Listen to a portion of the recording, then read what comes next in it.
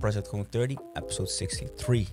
So, what's up, guys? Um, two full months of Project Going 30. I'm extremely proud of myself for staying this consistent.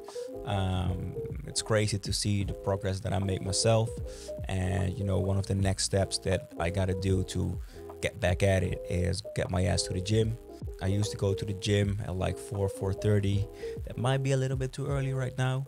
Um, but I do want to bust my ass in the gym again.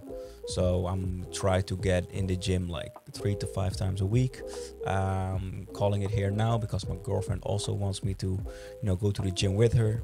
So I think she's very happy that I'm saying this right now. I'm just ready to get in shape again. I mean, I've been between 85 and 88 kilos, and uh, when I'm in shape, I'm at like 79, 80. So um, yeah, I'm ready to get in that fit body again, um, be more healthy, take care of my body, take care of my health again. And I mean, I'm gonna take y'all with me in the process. So stay tuned and I'm gonna see you at the next one. Peace.